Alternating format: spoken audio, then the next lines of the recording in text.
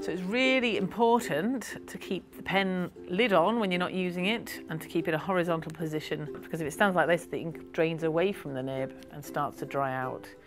So if that happens and you have left the lid off or if ink has crusted over the end, before it's totally dry, you can try giving the nib a little wipe. And then actually we can actually take the nib out of the pen.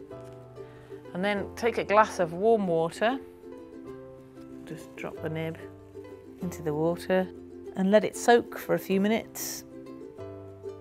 And then we'll get the get the nib out. And I'll give it a wipe again on the tissue. So in that goes. Don't need the water anymore. So put the lid back on.